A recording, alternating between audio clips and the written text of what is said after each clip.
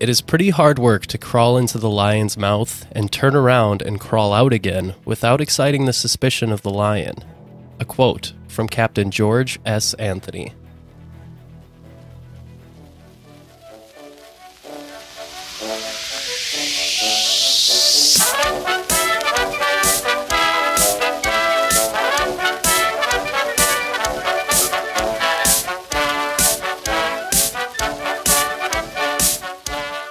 Didn't give it any like seafaring swagger. Probably for the best. I didn't throw any yars and If you throw a yar in there, that kind of, that sets the wrong expectation for the listeners. It's so funny because it's just like he's a guy from Massachusetts. Right, That's all he is. he's not. He's not a pirate. this man shucks clams or shucks oysters, and I don't know. That's this is before Celtics or like mass holes existed. So It's true. I mean, I'm sure they weren't the most friendly people in the world because they're all just like hardened seafaring men. Oh, But yeah, right. at the same time, it's probably a fun crowd if you get them out at the bars. that's what I've experienced every time I go to the East Coast. Like the stereotype is, oh, they're all so mean. But honestly, my fiance and I went to a bar. I think I told the story Yeah, they, already. they bought you clam Yeah, chowder Instead of like buying like a round of beers, they said, "Oh, you're from out of town. Ah, get us some chowder." Here's some chowder. It's like this is the happiest place on earth. This is hilarious. Oh, that is so funny. Hello, everybody. Speaking of chowder, hello, everybody. Welcome to the Gems of History. I'm going to do that every week. Just Just pick one thing that we've said, the preamble. Speaking of chowder, Speaking of chowder, welcome to the Gems of History podcast, everybody. sure. I'm your host, Jacob Shop, and with me, as always, Evan Roosh. Heyo, How back we- again. How we doing? Friday recording. We got the drinks. Friday recordings are always something special. They are. I feel like we say that every time we record on a Friday because we never do anymore. I remember. Well, I mean, yeah, when we started this back when we were 24, Yeah. we like Friday recordings meant like vodka Red Bulls. Yeah, we now, were taking like three shots before we even pressed Right. play. and now like Jacob brought over a beer and it's a 9.5 percent, and we just like looked at it like, holy cow! I, do, I, I can only have like one of these. Like how? Whew, I'm gonna be in bed by nine. but it tastes like fruit juice. It's Yeah. so good. it's so good. But Uh, anyways, how are you today, Ev? doing great. You know, I want to talk about the weather, just like every single time you ask me this question, but I'm not going to. You know, there was a tornado watch. But you got the house to yourself tonight. No, no lady. no fiance during the recording. So Just it's two guys having free reign at the house. two guys sitting in a basement, five, Five feet feet apart because they're not gay. Where are we? Oh, that, would, that would also right be a- after you get engaged. yeah, that would also be another shocker. Let's but- start start it. Then the whenever we get a a subreddit for ourselves, everyone's gonna be like, "Did you hear in episode 110 when Jacob said, or are we? Or are we? Yeah. Start the lore now." Right, yeah. And then on the audio medium that we have, like people are gonna say, rumors are that he winked. Like Evan winked back and blew a kiss. Like he hell? didn't have his fingers crossed behind his back. right. He didn't say no homo at the end of it.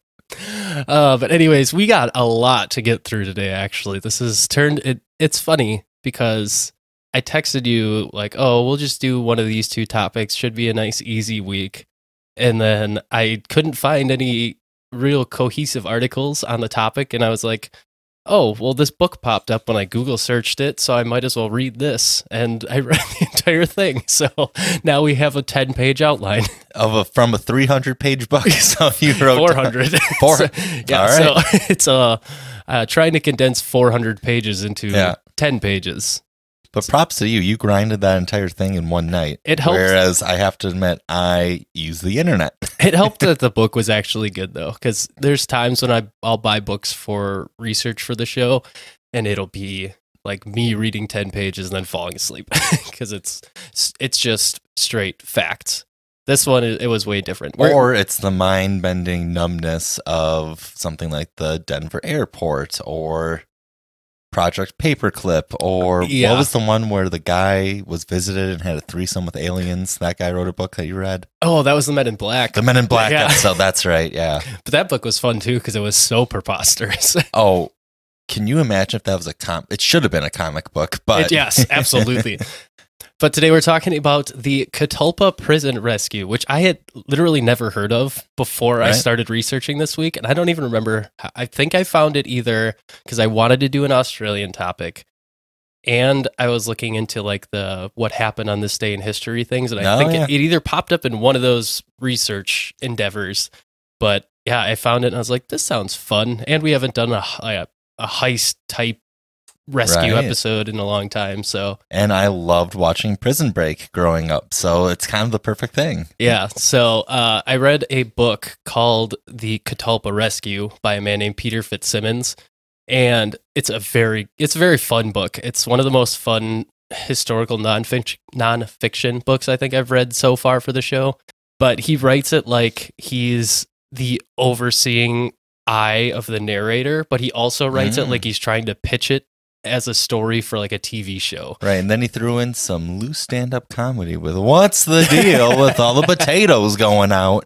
Uh yeah, but I would recommend reading it if you're interested in this topic. There's so many details that I had to leave out of this story that are pretty interesting in their own rights. So we're we're gonna do a lot of generalizations and uh, condensing of the topic this week. There's a lot of whaling information in there that I never talk about in this.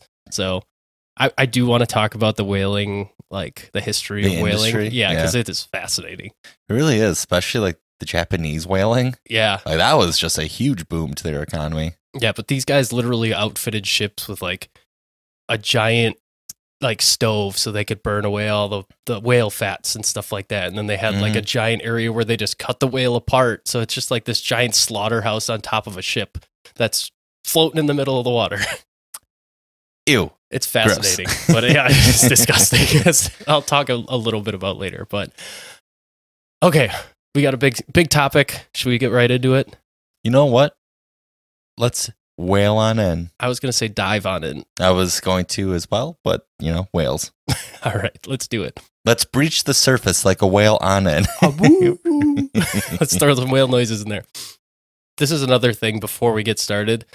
I went into this thinking this was an Australian story. No, this is an Irish story. Oh yeah, very much an Irish story. very much an Just Irish comes story. to Australia. Yeah. so that's another funny thing about. That. Okay, and one final final thing before we get started. We are this week is technically supposed to be the week that we are going to do our listener topic for our Patreon, but a combination of us being bad at planning and also the fact that the first of the year is the next episode. It's pretty much like so close that we just said we'll, Right. we'll do an episode this week and then we'll do the listener one next week. But yeah, the for those of you wondering, we will be doing the Patreon episode next week. Don't worry, we didn't forget. So Yes, you'll get what you want. So log on, log on. How old am I? sign up. yeah, sign up, dial in. Yeah, use your dial up internet to get on our Patreon if you want to be part of the next one. Right, right. But go on the Patreon, cast your vote, suggest a topic, and we would love to do one for you. And even though it might make me sad again, like Unit 731, which, by the way, was a great episode to uh, talk about and research. You know, it's very important. The next one's but it very made me sad. the next one's very much more lighthearted than that one. So, uh, but you'll the find history, it's finally going to be the history of moose. you're not far off. So, so we'll we'll do that next week. But uh, yeah, that before we get into it, we just wanted to mention that. Basically, since the 12th century, Ireland was under the thumb of the British Empire.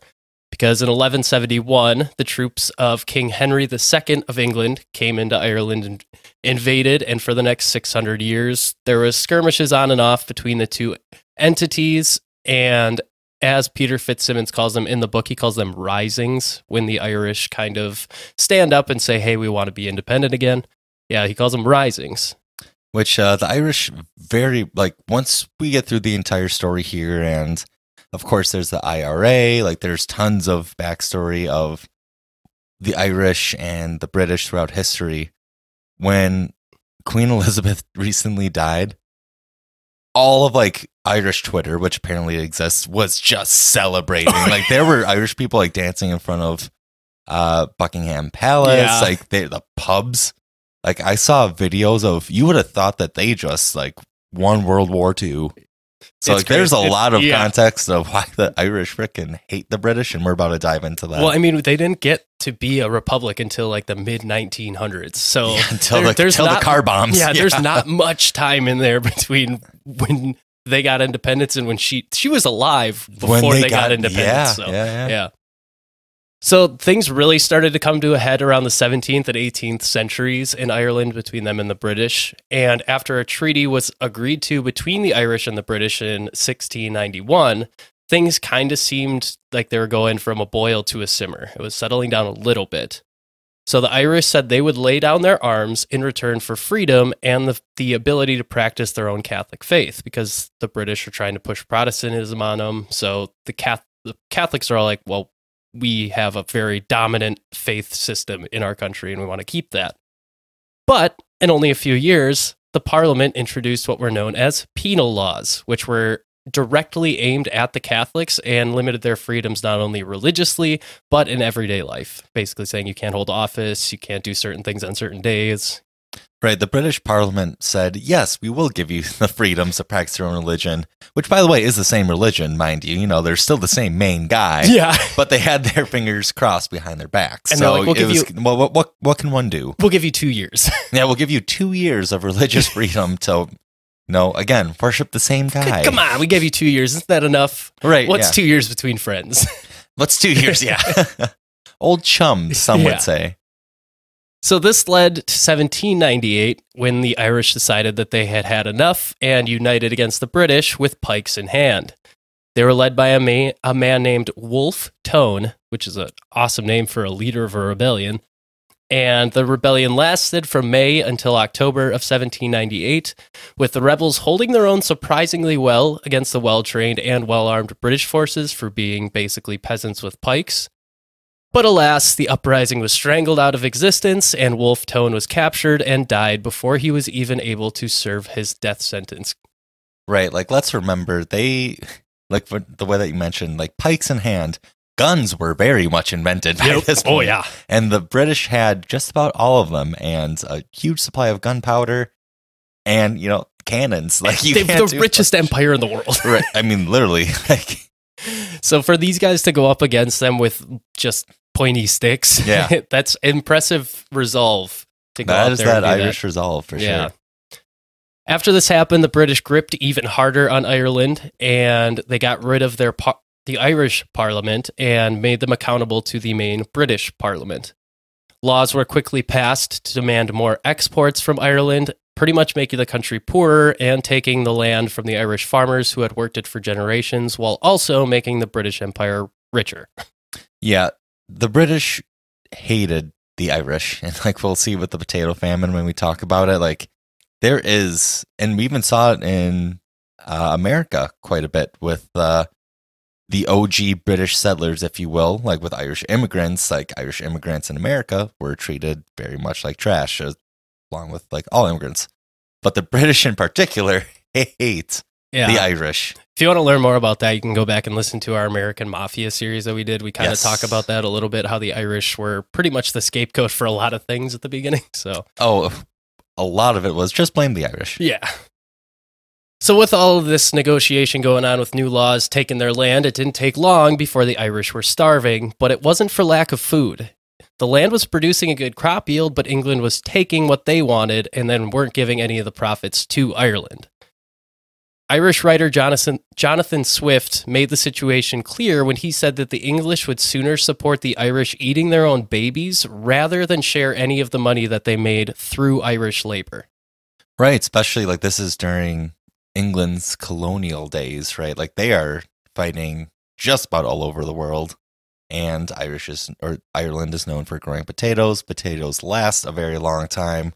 So when you're trying to feed an army that's in India and you need to ship food to them, potatoes are a great option. Yeah. So and and it's not just like they're taking their grain, they're taking their Oh, wheat, they're taking everything. literally everything that they're growing. They're taking like 90% of it. hmm And that's why the Irish subsisted on potatoes so much. It's just because that's mostly what they had on hand to eat. Right. But it's funny because the Irish were the tallest people in this area of the world for a long time because potatoes are nutritious. Dang, Like if get- only the league, if only the NBA was Yeah, around. right, exactly. Since the 1500s, Ireland had failed no fewer than 15 times to thri- try and throw off the hand of the British that didn't feed them, but all they had to show for it was even more British intervention and less food. So by the mid 1840s, things went from bad to even worse because a blight hit the potato crop in Ireland, which was, as I just mentioned, their main source of food in the country. And the peasants were just hit really hard. Two years of consistent heavy rains and constant exports of other grains left the common laborers with pretty much no answer to their hunger. So by the end of the decade, estimates put the number of deaths from the Irish potato famine or the Great Irish Famine at nearly 1 million people. Right. And also the British, fun fact, were kind of they didn't like label it as a blockade, but they were essentially blockading Irish Yeah. ports. They- so they controlled the ports. So you they weren't sending actual food food in there. Or all food had to go through Britain and then to Ireland to Ireland. And it took it took the Great Irish Famine for the British to repeal what was known as the Corn Laws, which Yeah. basically in, artificially inflated the price of of corn and other grains and stuff in Ireland because they said you can only buy from other people if it is a if the corner the grain is a certain price point. Mhm. So they just kept inflating it artificially so that they would have to buy it from Britain. And they this is what took to this is what it took to finally repeal that law. It is interesting that economic practices or like economic warfare, if you will, like it happened since the beginning of time. It's Yeah. not a new concept. Not at all. Much to the dismay of the deceased Jonathan Swift that I mentioned earlier, reports of cannibalism did begin to surface as family resorted to eating their own dead family members, in addition to killing and eating the dogs who were surviving off of the dead humans in the, in the towns and the little settlements. That is now that makes me want to cry. As a as a proud dog dad of two beautiful black labs. Yeah, it's uh, it's not a good scenario. No. According to the founding director of Ireland's Great Hunger Institute, whose name is Christine Kinealy, the reason Ireland was hit so seriously by this famine wasn't because they were the only ones hit by this blight, but mostly because they were so much more reliant on the potato crops than the other parts of the UK and the other parts of Europe that were around that area. It's pretty much just because that's all they had to subsist on. While the Irish were dying, the English didn't really do a whole lot to help. And once again, according to Christine Kinealy, there was a short summertime soup kitchen that the English, the British did set up in Ireland in 1847 that served nearly 3 million people during its operations every day at the height of it. But that was only one time that it would appear, and it was just that one summertime. That's nuts. Like a a summertime kitchen Yeah. in a country that has probably seven months, eight months of non-summer. Yeah. Like, that is so and that's 3 million people a day. That's 40% of Ireland's population Yeah. at the time. yeah, just relying on this kitchen. Yeah. Like, that's insane. So it shows that they had logistical means to support the British or to support the Irish during this time. They just chose not to. Oh yeah, they like we mentioned before, richest empire probably in world history. Yeah. Like one of Them you had a power Persians. them, yeah. If you had a power income, they're up there. So it's not. They definitely have the capability to. Yeah. Mostly in the it, the reason they don't logistically support it is because in that same year that the soup kitchen was opened, a new prime minister was elected in England, and he was not from one of the major political parties. So he decided that he needed to get really careful about how he did policy in certain areas, just so that he would keep that approval that he had. And to do this, he decided that he had to keep spending low, and of course, that meant no funding to the Irish. At the same time, he did try and implement what he called work programs that he set up in Ireland. But these public works meant basically that the Irish had to go out in uh, one of the harshest winters on record, like recent record, with no shoes, barely any suitable clothing for minimum wage to try and support their families and try and feed themselves. And also stay alive again during the winter with no shoes. Yeah, the one they said it was one of the worst winters on Yeah. record. So yeah, it's it's not good. The minimal food, terrible weather, and the lack of logistical support from the British led to, as I mentioned, possibly a million deaths, but also nearly two million emigrations from Ireland to places like the U.S. and Canada. And it's important that those people left because Ireland still has never fully recovered from the population drop because over 8 million people lived in Ireland at the time of the famine. And the population of Ireland is currently sitting at like somewhere between 5 to 6 million. Wow. So it has it's not even really that close to recovering. And that's just the Republic of Ireland. There are certain parts of Ireland that aren't technically republic. So it's probably somewhere closer to 6 to 7 million, but even so, it still hasn't recovered to that 8 million. Right. That is such a long. That's such a long time to like not repopulate. Oh, that's 170, Like, that's 170 years. years, yeah. And to add insult to injury, the head of the UK Treasury at the time said it was Ireland's fault that it was all happening, saying, quote, the judgment of God sent the calamity to teach the Irish a lesson, and that calamity must not be too much mitigated. The real evil we have to contend is not the physical evil of the famine, but the moral evil of the selfish, perverse, and turbulent character of the people. End quote. I mean, that's the head of the treasure. Like that's a state official being like, well, you know what? God did it. Yeah. Like I don't think God was they they made God do this. right. Yeah. God, meaning the British government, Yeah. decided to starve out. no, we could that soup kitchen thing didn't happen. Didn't happen. Once again, what's two years between friends? What's a fun? What's a fun little summer of soup between friends? no soup for you. Oh my god, they were the original soup Nazis. Yeah. Yeah. But the Irish once again did not take this lying down. This was this major indifference and victim blame from Eng- the English led some of the youth of Ireland to realize that it was going to be them who would need to take up the fight for Irish freedom. And a group known as the Young Ireland Movement began to make fiery statements of revolution and disregard for government whose laws had starved their people. Their leader was captured and jailed pretty quickly, but that was just the beginning because another would rise from the ashes and light a new spark under this group. His name was James Stephens, and he was a 23 year old Spitfire from the Young Ireland movement. His speeches were so inspired that four days after his first, a group took up arms and attempted to fight the British. Four days. Four days after hearing a 23 year old. Like That's, that's impactful. talk about Young Ireland. This guy is the embodiment of Young Ireland. Imagine a college kid that just graduated and they just got on a podium, maybe at their local local pub, again, like with Irish, and just started spitting mad mad shit at the British. Yeah. And I mean, these are all the kids pretty much of the people that have died during the famine. Their parents are probably gone. They're probably orphaned. They There's so got- many orphans. Yeah. So these kids are all just looking for somewhere to expel all this anger that they have for the Right. people that put them in this scenario. So it makes sense that one guy comes up and gives a, a rousing speech, and there you go. It had to be a great speech. it must have been. When this uprising took place, the people that were taking part of it, it, it, they expected the peasantry to follow them into battle, but the conflict was pretty one sided, and the Irish were once again put down pretty easily. So James Stephens himself didn't get captured during the battle and decided he needed to flee. So he did so in quite an unorthodox fashion, and this is the, this is one of like One could say, yeah. this is one of like the funny parts of this. There's multiple stories in this that are like, what? yeah. So he used his youthful looks and dressed as a maid and fled first to London and then to Paris. It's a long time to be wearing, I'm assuming, some sort of wig. I don't know if he did it the whole time or if it was just to get out of Ireland, but I imagining him wearing a maid outfit for like three months Right, as he travels crossing to France. Yeah, crossing the sea, like crossing the strait from Ireland to, And of course, to France. since I watch anime, I'm imagining him in like the oh, cat yeah. ears with like the the slutty maid outfit. Saying like senpai and like some shit. How can I serve you, master? Oh god.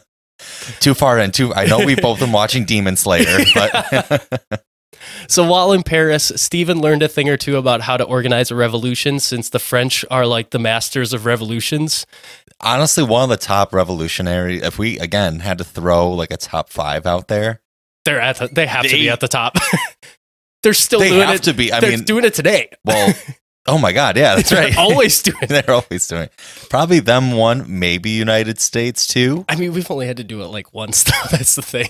But there was that second time that the South tried. They just they did try. but they weren't successful. So never mind. We're so out the of North. We're out of the top The five. North gets the. North gets the number two spot. So he spent time in in France with other Irish patriot escapees, and he realized that the way the Americans had shirked off the British was by organizing an army of their own. And this was the beginning of the process of raising a true rebellion in Ireland underneath pretty much just his control. Yeah, this whole time, uh, just like doing the research like for this, when you think, it just got me thinking about like alternate historical timelines, right? Like if the US would have lost the Revolutionary War, do you think that we're looking at the same type of persecution, if you will, from the British government? So this is the thing is because Ireland is so close and Oh, it's yeah. so much smaller than the US. I just feel like there wouldn't have been that much of a time period that they could have controlled it in the Mhm. same way that they did. Plus there's like Spanish and French still fighting for America at the same time. Right. Ireland's pretty much just Britain. That's so that is kind of one of those things like we've talked about. I believe during our coverage, like the 18, the War of eighteen twelve, and multiple stories about the Revolutionary War. Like America got pretty lucky. Like, Yeah. Again, they were going up against the biggest colon or the biggest empire of probably since the eighteen hundreds, seventeen hundreds, and forward. And we kind of got lucky. oh, well, 100%. Yeah. We, and during the War of eighteen twelve, that's when Napoleon was trying to shoot a shot. So we Yeah. definitely got lucky there too. Yes, we did. So James Stephens officially returns to Ireland in 1856 and he begins to dress in disguises like sometimes he dresses as a beggar, sometimes he dresses as a priest, and pretty much goes door to door and establishment to establishment and begins to whisper his ideas of revolution into the ears of whoever would listen to him. And slowly but surely, people began to follow him. And as his first speech went, he is very charismatic. He's got very heavy Irish nationalist sentiment around him, and they proved to be useful tools to help him recruit people. And soon enough, James Stephens was declaring himself the provisional dictator of the Irish Republican Brotherhood, the new underground movement that he had just founded. The IRB. yeah. IRB, yes. And calling himself the dictator, it really proves like Ooh. how much stock he puts in the fact that like people need to listen to what I have to say because I have a plan for how this is going to work. And if you don't listen, that plan is very easily going to fall apart. This man was also the master of disguise. Yes. Like, Seriously. like, if you want to think about that movie for a second, it was literally him. Yeah, he's dressing as a maid to get out of Ireland. Then he's dressing as a priest and a beggar. Later in the story, he dresses as a homeless person and uses crutches. Like he's got all sorts of disguises. But I mean, you have to think that's crucial for any sort of like guerrilla tactics or any rebellion. You can't be dressed up as, you know, your classic revolutionary, if you will. You have Right. to look like they're innocent. and he knows right away that he has to keep everything that he tells these people very close to the chest Yeah. and that's why he like says i'm the one that's in charge you Mhm. have to listen because if information starts leaking that's when problems are going to start Mhm.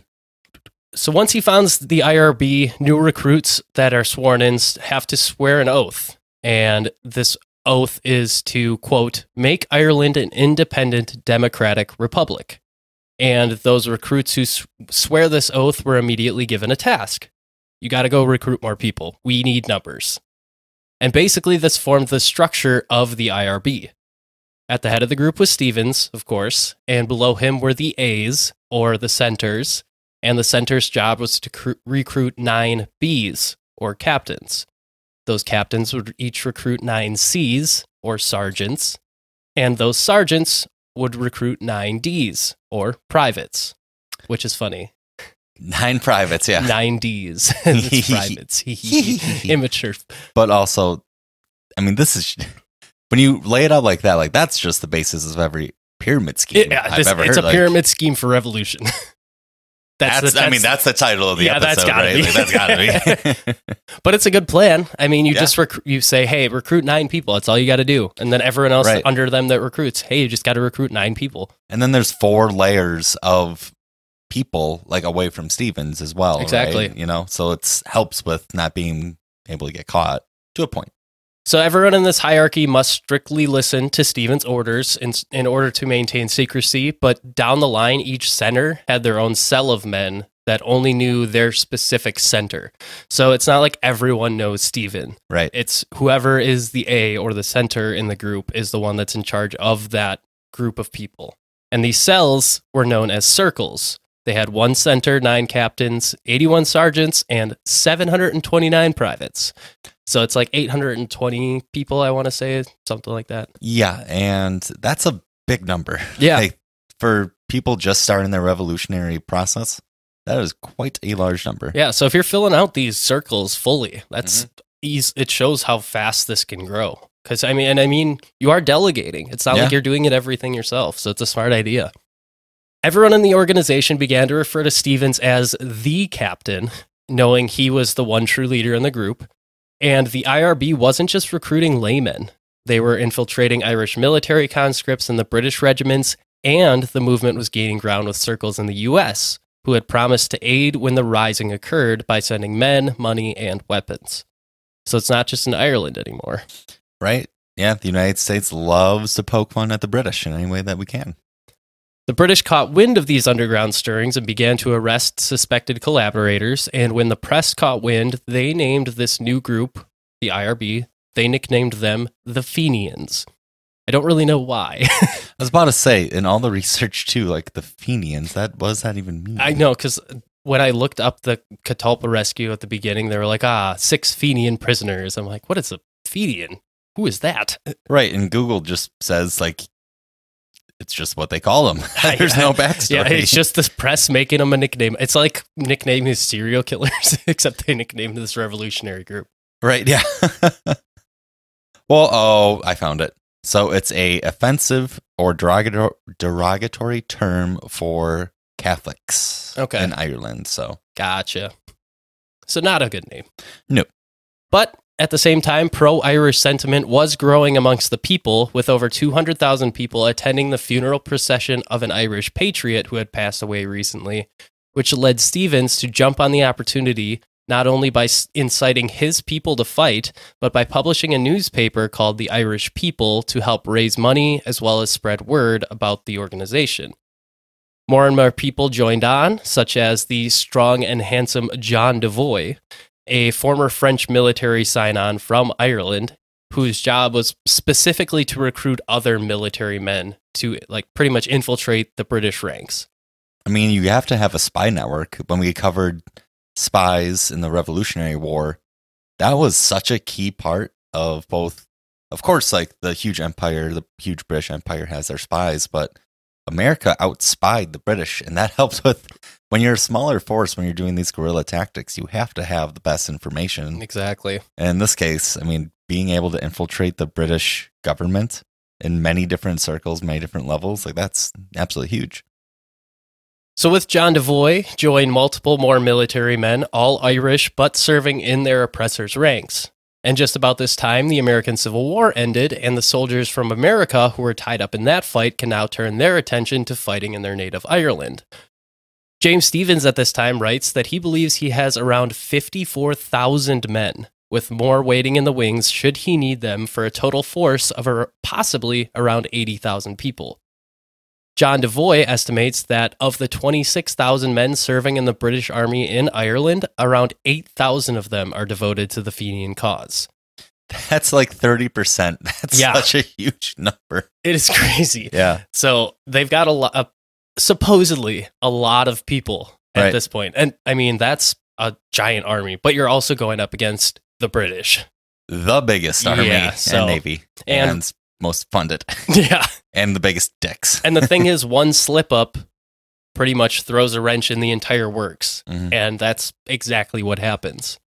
Because in another very hilarious turn of events, one of the Fenians was carrying sensitive documents and decided to hide them during his travel by pinning them to his underwear. But when he crossed through a railway station, those documents fell out of his underwear and they are found by a passerby who gives them to someone else, who eventually gives them to the police, and thus they go straight to the detective division at the Dublin Castle. That's that's just the worst. You probably thought he had it made, that he was so smart, and then all of a sudden his underwear. Did he just feel something drop in I his drawers? I was gonna say, how do you not feel something fall out of your underwear? Because it's got to go like out of your underwear and like down your leg. Literally, yeah. That is so like so obscure, but it also makes me think like there's a, I believe there's a classic story where well, like the Roman Empire used to tattoo or like write messages on Yeah. people's foreheads and like slap a toupee, if you will. Yeah, Or, not toupee, their hair would just grow Yeah, I was gonna say they just waited for the hair to grow back. Yeah, Right, but then like one got found out. Yeah. and then that's how they discovered like a huge message. yeah, exactly. It's crazy how they used to do this stuff. hmm But even with the police now bearing down to find the men listed in that document that they found, specifically James Stephens, the Fenians have a man on the inside named John Kelly who is able to warn them before the raids are beginning to take place from the police. One recruit named James Keeley even confided in John Kelly, that police informant, that his father has a stash of pikes that they can use once the rising comes. And that's how it just shows how trusted Kelly had become in their ranks. But guys, the pikes, you got you gotta adapt. just get guns. Right, I'm picturing that conference, that classic conference boardroom meeting, where it's just, but it's just like a bunch of Irish, like, all right, revolutionary weapons. What we got? What we got? And like the first three people say like pikes, swords, swords, pitchforks, and then the last guy says, "What about guns?" then you throw them out the yeah. window. And that's verbal memes with the Gems of History podcast. Imagine it. yeah, However, the net was slowly closing in around the IRB, and in September of 1865, the Dublin police broke down the door to the Irish People's newspaper headquarters and not only arrested everyone inside, but also seized all the documents the organization was housing there. Which is a big deal because Mhm. the that headquarters is kind of their safe house. They they kind of held a lot of sensitive information there. So the fact that they got in there gave a lot of information away. Right. I mean, it was the printing press, right? Exactly. Like, that's that's where you have to keep your information, essentially. The bookkeeper escaped along with another man named Pierce Nagle, and they go to warn James Stephens at this point. So he escapes dressed as a beggar and he begins to hide once again. The So- master of disguise. yeah, he's just constantly on the run. I think this is where he used the crutches and homeless disguise. And then, and they tucked in his shirt and it looked like he lost an arm. Swept his hair back. right. The loyalists to the British cause begin to descend onto the Fenians in their ranks, arresting military and civilian traitors alike. And in just two months, nearly 200 Fenians are arrested, with hundreds more in the eye line of the police. Some Fenians begin to abscond to places like the United States or Australia, but James Stephens remains in Ireland and continues to evade the law enforcement, even after his description is put in every newspaper and wanted ad in the area. So he is really proving his mettle here, where he's saying, I will stay no matter what the case, and I'm going to support you guys if you continue to follow me.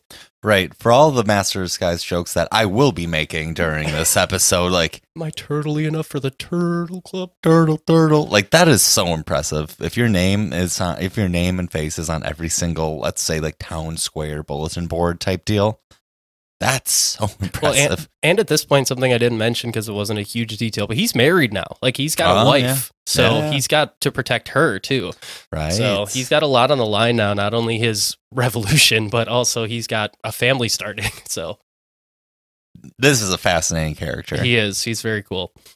Meanwhile, court martials are being organized for the Fenians that were already arrested. And in the midst of all of this, Stephens realizes that he really cannot move as freely as before. So he appoints his most trusted men to be in charge of the leadership duties a man named Thomas Kelly and the good old John Devoy. Devoy immediately moves to recruit a soldier that he's had his eye on for a while, whose name was John Boyle O'Reilly. These are very Irish names. Oh, you might as well just say St. Patrick next. Yeah. The young man, John Boyle O'Reilly, was an Irish patriot to the core, and he immediately joined on with the Fenians and quickly recruited dozens more along with him. He even offered to be an informant for the people to get docu- Mhm. like sensitive information through the British military, but they already had a guy for that, so they said, "Nah, I'm good." Which is very impressive to say, actually, sir, we got someone. Yeah, but this Would you, guy, would you like to apply for one of our other positions? but this guy's also like 22. so yeah. These guys are really putting their lives on the line here. Things are falling into place for a rising to come, and the men have training along with a plan presented by this new recruit, O'Reilly. But what they don't have is weapons, so they must wait. And the hesitation that they show is going to be their vital flaw, and this is mostly on James Stephens' part. In the early days of November, a tip is brought to the police about a man who might be James Stephens. Police moved quickly and they surrounded the residence that they were tipped off about. And when the doors opened, they see their man. Stephens slams the door and runs upstairs to get one last moment with his wife before he's arrested. So the police swarm inside, get their man, allowing Stephens to adorn himself with his nicest clothes before taking him, and three other Fenians away to face their punishment. Do you think that he was like, no, I'm a nobleman? Pretty much, dressed like up as like William Shakespeare. He was like, "Give me one last moment of dignity." And he put on like this really nice suit and a silk scarf and stuff. Let me put on my nicest disguise. yeah. And his wife is like, "Damn." yeah. See you in a decade. Just six hours after his arrest, Stephens is taken before a committee where he boldly denounces his arrest, stating that he doesn't believe in British law in his native Ireland. Not a bad call. I mean, very much sticking to his guns. Yes, the committee sets his trial and he is now befo- brought before a court, and the first witness against him is no other than Pierce Nagle, who is now realized as a traitor from the Irish People's newspaper. hmm Stephens continues to deny the existence of British law in Ireland and is set to appear before the same court as the other Fenians later that month. He's marched off to the most secure prison in Ireland, known as Richmond Bridewell, boasting eight foot, 18 foot walls with guard towers every 25 yards and giant iron doors to keep everyone inside. Yeah, the British took security and where to put their prisoners very seriously for the time. Yeah, definitely. It's I, I just think it's hilarious that he's at because he served as his own lawyer. He pulled the Ted Bundy before Ted Bundy was around. Oh. also for a better cause. Yes. one was a psycho and one was a revolutionary. So you gotta kind of pick your. yeah. But he was just like, yeah, British law doesn't exist. What are you guys going to charge me with? And they're like, we're going to put you in prison. It's like British law. Like, sir, we are in Ireland. There are four leaf clovers everywhere. Look at this globe. Yeah. After their leader is arrested, the rest of the Free Fenians realize things are pretty dire at this point. Not only is Stephens in chains, but they have had a spy in their ranks, and they're not sure if there are more spies in their ranks.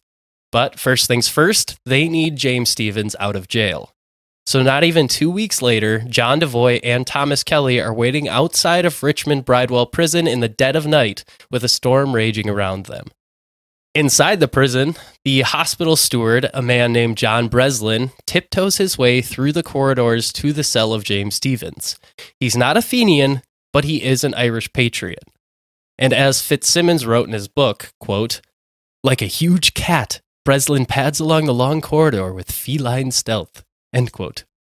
okay. So- That's Once again, I'm imagining a guy wearing the cat ears. the cat eaters. and Yeah, he's just he's like- senpai. then he hears something, he's just like, wait. yeah. So he, he sees do- a bowl of milk and is just thrown right off. can't stop this man. Yeah. So if he does this feline stealth until he arrives at Stephens' cell and uses duplicate keys made by another Fenian night watchman to open James Stephens' cell and get him out. The men quickly and quietly get to the yard where a ladder is waiting for them. However, the ladder that was promised to reach to the top of the walls was six feet too short. Uh, come on. that is such a One job. who yeah, the latter guy. Like he's just like eyeballed it. He's, I think it'll fit. Like, you know what? Eh. But no worries, John Breslin can handle it because he runs back inside, grabs the night watchman who made the keys, and they carry two tables out of the dining room into the yard to stack on top of one another. Then they put the ladder on top, and Stephens climbs over the first wall, which leads him into the walled garden. Then Stephens throws a handful of gravel over the outer wall, signaling his men that he's close. And upon realizing it, the Fenians give the signal to each other that it's time to throw the rope over the wall. And Evan, do you want to guess what that signal was? I want to say like an owl going like whoo whoo. You're close. It is a Oh. bird, Okay. but it's a duck. Stop it right now. and it's funny because in the book he says there was a false alarm because there was an actual duck in the area that made a noise and threw a false flag. The people outside were like, "Damn, that's a good duck." Didn't know- doing that? I didn't know that old Jimmy boy could do that. Fitzgerald, is that you? Yeah, he's freaking. that's a goose, but you get it. So they do their quack quacks outside of the wall, and then they throw a rope over to James Stephens, who then grabs it and is pulled up to the top of the wall. But once sitting on top of the wall, he realized that he has no way to get off of the 18 foot wall. Yeah, Because he's like, I got a rope to pull me over, but I don't have a rope to lower myself. right. That has to be. You can literally see freedom, and it's 18 foot drop. Yeah. So the men just tell him, hey, put your back against the wall and just drop and we'll catch you, which he does. And then he falls feet first onto the chest of one of the men while the rest catch him and put him on the ground. God bless the Irish. So. Why does that just make sense? It is the best escape story. like, first of all, the guys are just hauling tables out of the dining room. like, Right. we can do this still. Don't worry. the guards there in that prison. You maybe the most Yeah. silliest goose. I had to be like absolutely oblivious.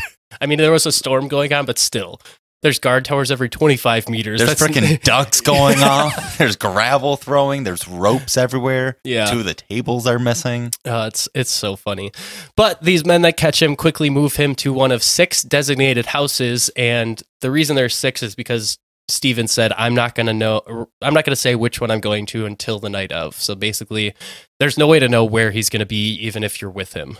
Mhm. And thus, James Stephens is free, Now that's a prison break. That is so cool. and they organized it in like less than two weeks. That's so impressive. Insane. The prison is obviously frantic the next morning, and the man in the cell next to Stephens was supposed to alert the guards by banging a gong if he heard any noise from Stephens' cell.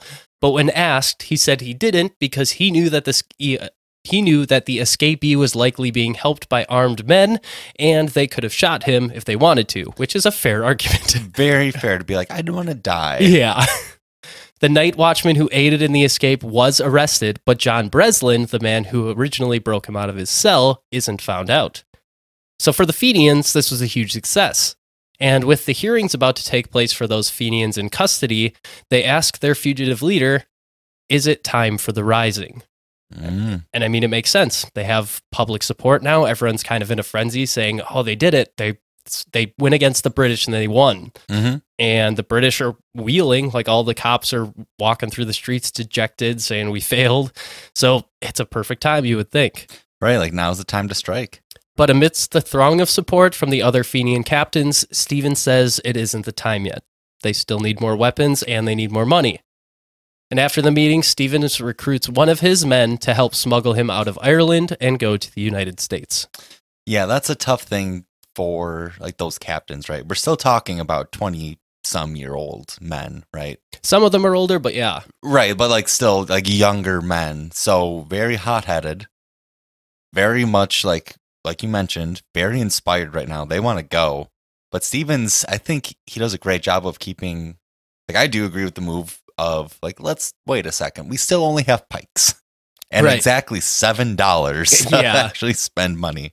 And I do agree with I agree with Stephens to a point because he does this so many different times that I Yeah. like he mentions it in the book that John Devoy kind of says I think he just got in over his head and wasn't ready for everything that came afterwards. Mm-hmm. And I think that's pretty much what happens. So it, it kind of falls apart on his end. But by January of the next year, the other Fenians are planning to usurp Stephens' authority, with some deserting their military posts under pressure of being discovered.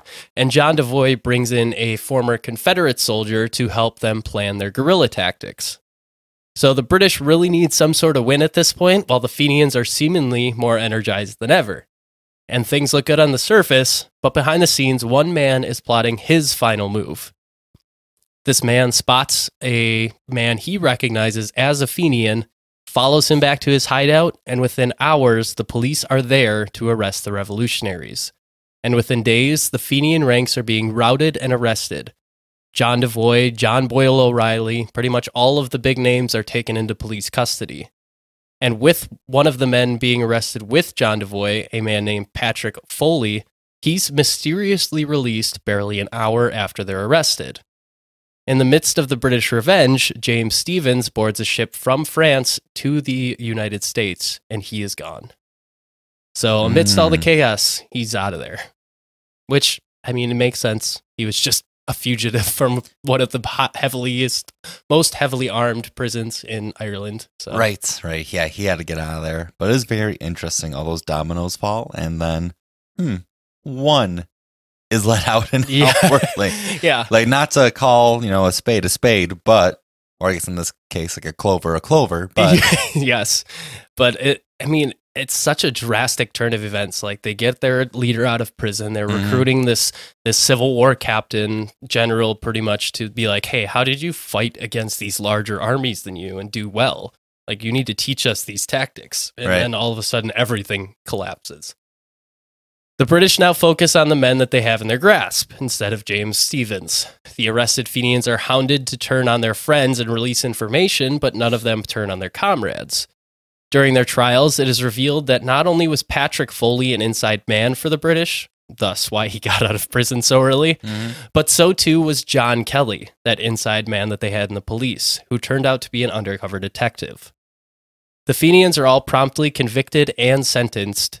Their convictions, quote, You have been found guilty of mutinous conduct in Cork in nor reporting an intended mutiny of Her Majesty's forces, and secondly, with having about the same time joined a treasonable and seditious conspiracy called the Fenian Brotherhood. You are to be executed in the presence of the troops of garrison. End quote. very heavy charges to be read. There's there was Yeah. no messing around this time. And it's the thing is, it's all political stuff. It's not even that they did anything.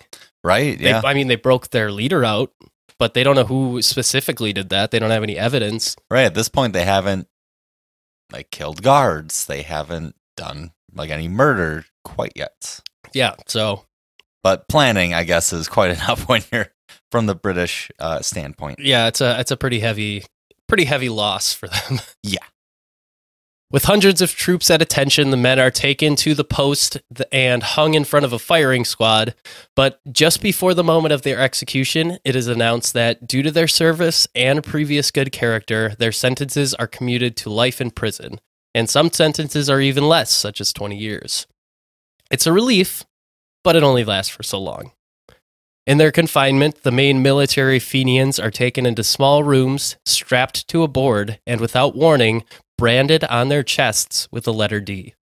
And do you want to guess what the letter D stands for, Evan? Degenerate. Close. Deserters. Ah. because they were the ones that were in the British military that defected. right. But one positive for those Fenians in Ireland is that the men who betrayed them are treated with distrust. Patrick Foley is immediately bullied and ostracized from his regiment, not only by Fenians, but by the British as well, who see that they can't trust him because he's a spy for one side, so why can't he turn on the other?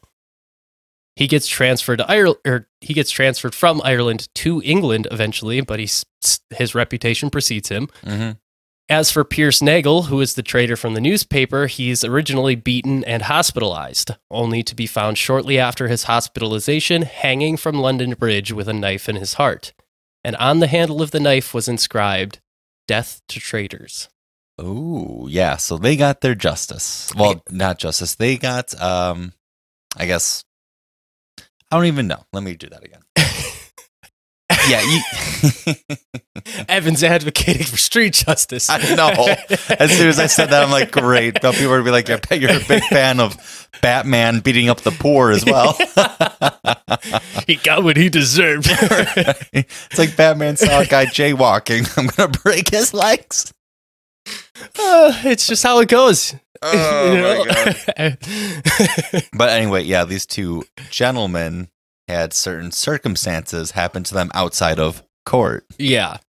But I mean, for Patrick Foley, it may, may make sense. Yeah. Like to be bullied by the Fenians in the military after you just sold out your brothers that you said you would serve with and you took an oath with. Like, Yeah, Yeah. right. It's, it's kind of a big deal. So I guess it kind of deserves that. And I'm assuming there's some sort of oath process for the British government as well. So Yeah, that's true. that's two oaths. It's true, true, true. for those counting at home. Back in the United States, James Stephens is attempting to rally the American Fenians to arms.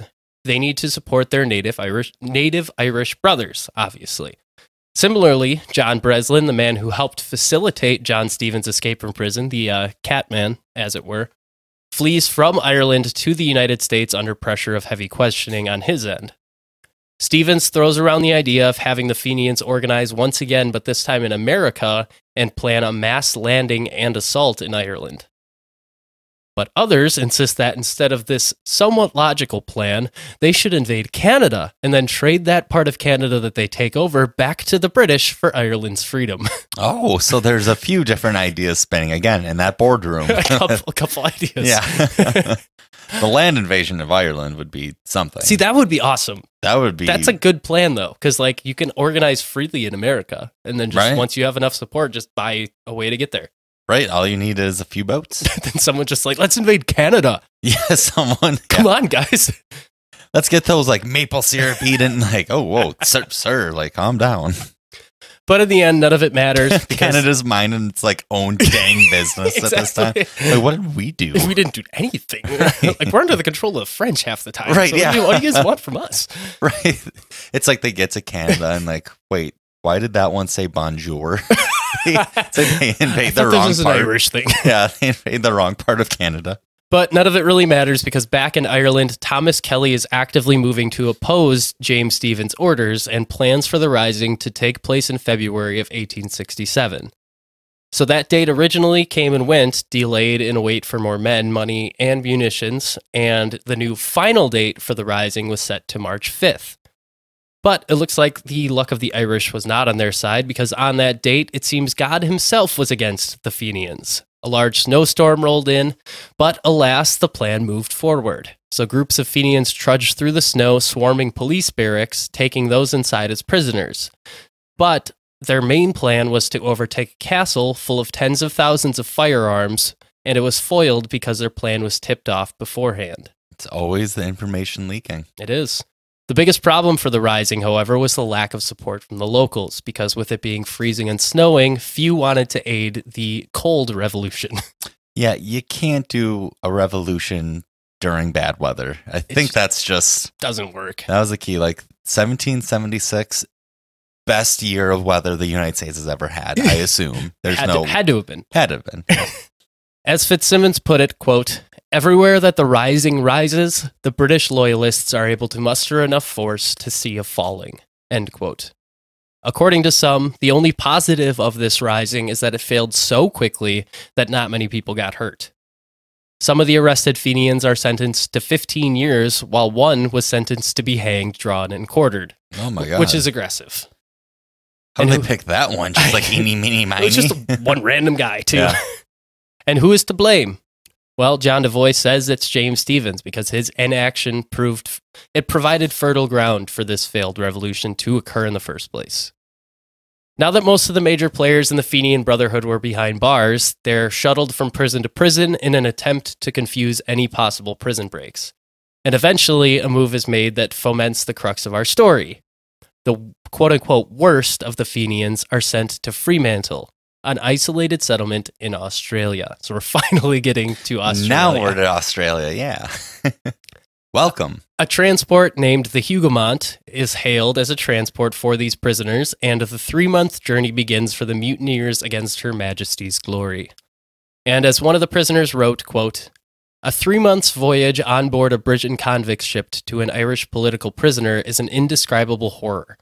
It is utterly monotonous and is only varied by occasionally hearing the cat, which is the cat of nine tails or a whip, on mm. a convict's back, the funeral services now and again, followed with a splash and the finds of a shark or two daring after the prize, the constant rattling of chains on limbs and hands of unfortunate convicts. End quote. That's like three months. Yeah, because they're and taking you're just- steamers. You're literally just hanging out or chaining out, if you will.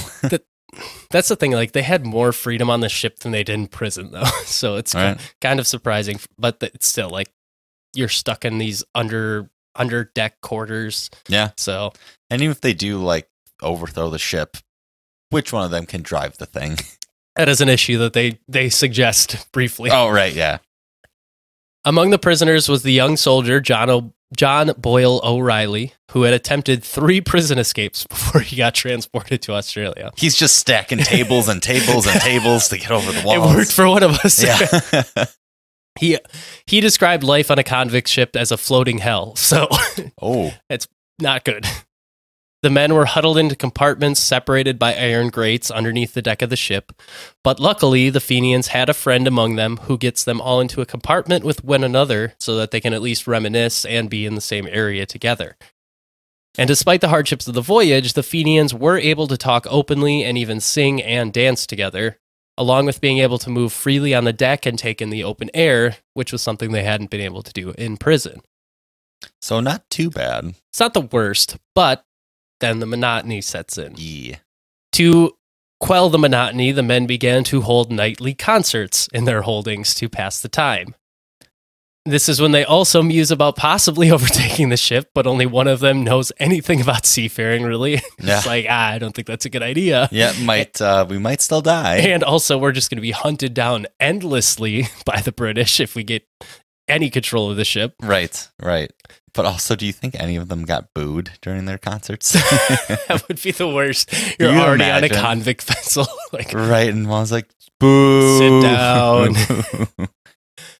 Once the concerts lost their luster, the men convinced the captain of the ship to allow them to write a ship newspaper, which they Oh. called the Wild Goose. The only caveat was they can't write about anything political, which is, I guess, a fair fair compromise. well, what, what are they supposed to write about? They're all there for mute, like political mutiny. Exactly. Well, it included Well, like, yeah, it- yeah. It includes poems written by O'Reilly, satirical news stories, a Q&A section, and even one article about what Australia was supposed to be like, which claimed the name of the continent came from the fact that they ate so many oysters and drank so much ale.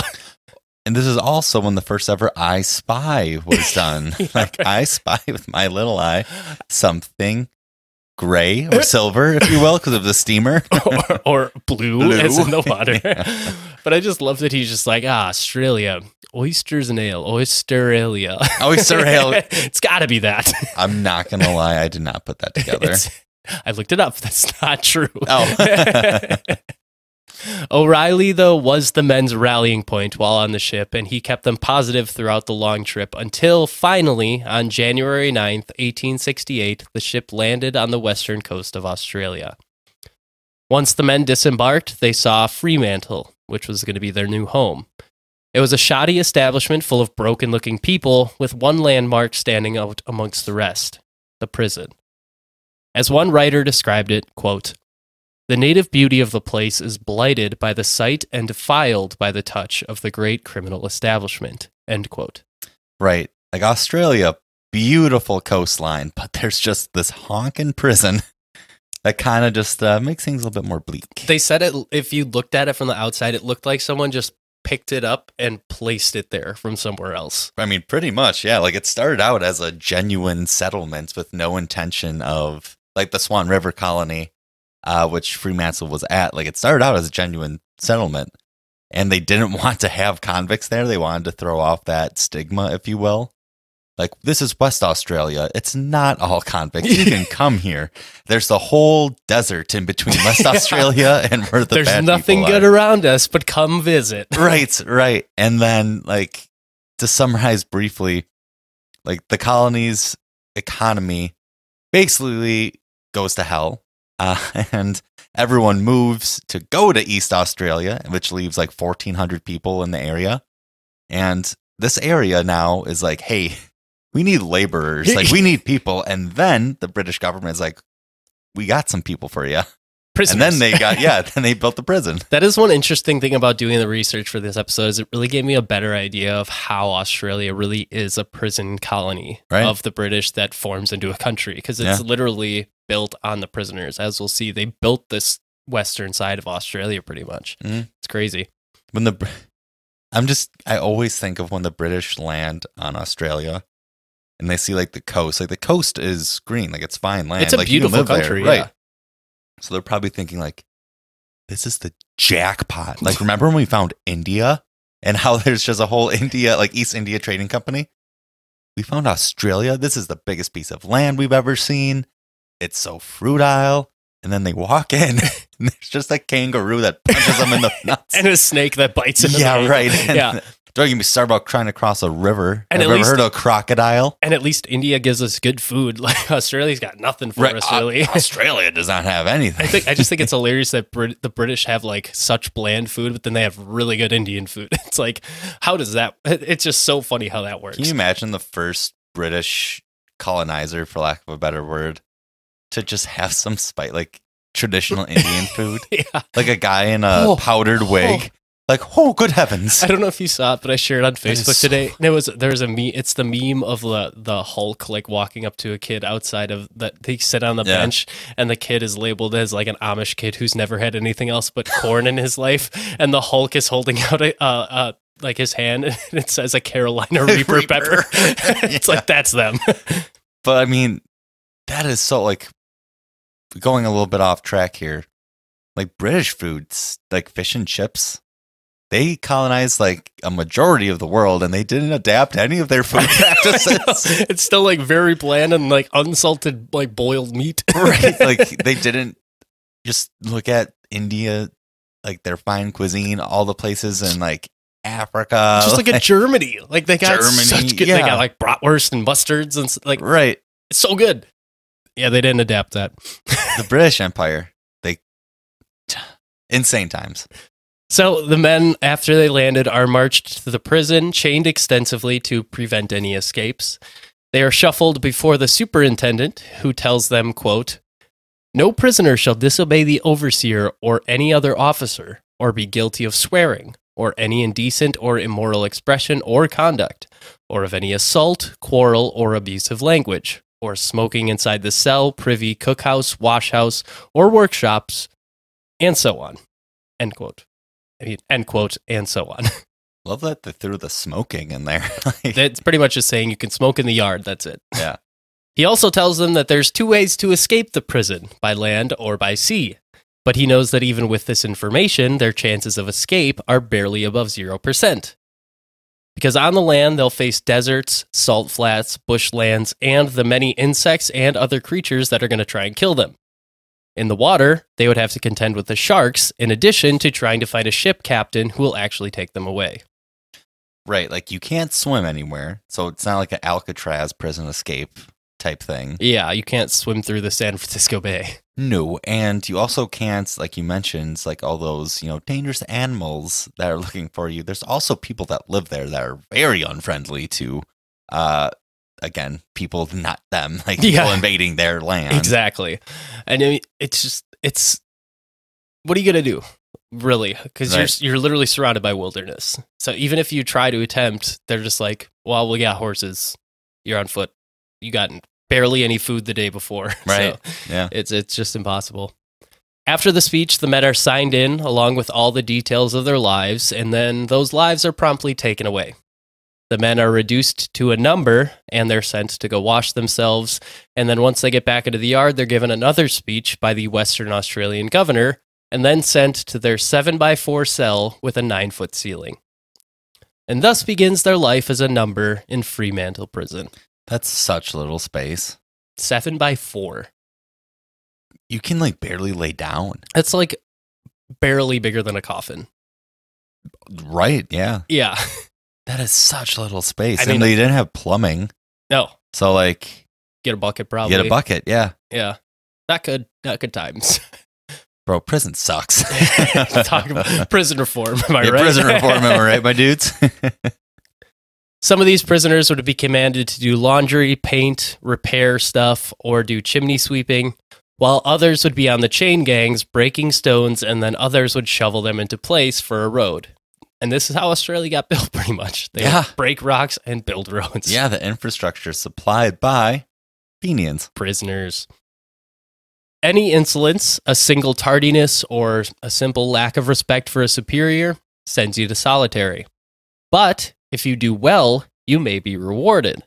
In one instance, one of the Fenians, after good behavior and due to the fact that he was a Protestant instead of being a Catholic, was allowed to get off of the chain gangs and work in a church. And he even led some of the prayers occasionally. So, I mean, it's not all bad. I guess. Just have to be, not be Catholic. Wow. I'm not a Catholic anymore. right, yeah. Some are allowed to go into Fremantle itself, which was a small, rough settlement of around, at this time, 3,500 people with a few small shops and a couple of churches. In long term convicts, the Fenians note that they had a squint in their eyes because from the years of breaking limestone rocks, those men had suffered long term eye irritation. Oh yeah, Just the dust getting in their eyes constantly. right. No, So- pr- no protective eyewear. OSHA. Needless to say, it was a hellish place. Yeah, and also like that climate is very warm It's and hot. yeah, it is harsh. Like that's why so many people left. Like when they started tried to start a colony. Again, beautiful land, very very warm. And granted, this isn't. It's not all prisoners that are living. Like there's there are the settlers that came. They're like, hey, I we can find gold here or something. And the gold rush. Yeah. So Yeah. I mean, it's not all prisoners, but a majority of it is built by prisoners. oh yeah. yeah. So it's, and they arrive in January, which is the middle of Australian summer. So Mm. it's hot, hot. And all the buildings are limestone, so it's just all white and reflective. Like, oh yeah. yeah, it's not phew, rough. Everyone had to be squinting. yeah. Needless to say, escape felt like a dream for all of the inmates at Fremantle, with previous attempts seeing men dragged back to the prison after running through the rough terrain and then being whipped upon return, with some even facing harsher punishments and being hung for their dissension. After a while, routine just kind of set in for the Fenians, except for John O'Reilly. Little over a month after getting there, he was sent south to another establishment called Bunbury. He spent his days carving through the Australian bush to make way for roads, and he even had a cool story about saving a tree by convincing the governor's wife that it was too magnificent to cut, so he literally made them form the road around the tree by pretty much writing a poem about it. What a stand. Like he's Yeah. like, I've never I need to fight for something again. Well, it's funny because he learns to love poetry once he gets imprisoned, Yeah. and then on the boat, like that's his saving grace, pretty much. Is he writes a bunch of poems. He writes one about the Flying Dutchman that he reads to the men, right. and then he writes a poem to the governor saying, "Hey, this tree's really cool. We need to save it." And then his, Mhm. he's like, "Ah, do we?" yeah. And his wife is pretty much standing by, and she's like, "Let me go look at it." Yeah, let me take another look. And then she sa- sees it and says, "Let's build the road around it." She's like, he's right. Dang good tree. It was funny because in the book they put a scorecard and it was like prisoners two, viceroy zero. Good behavior allowed O'Reilly to make trips into town and eventually he even oversaw other convicts. This allowed him to meet some of the natives who taught O'Reilly some of their ways in tracking, but one misstep and his officer withheld his mail for six months. And when he finally got the letter that his officer had taunted in front of him, he found out that his mother had died. oh, that's. It's like I knew that, but it's the it, it's such a sad scenario because the letter had apparently they the way they sent the mail it had a marking on it i don't i don't remember exactly what it was but it had a marking noting that it was about a death oh, and so oh. he saw the envelope but his officer held it in his coat and said you can't get this you'll get it in six oh, months what a dick. so he had to spend that whole time waiting to see who am i going to open this and find out has died and it was his mom What a power. Tri- what a like power trip to Yeah. have over another human.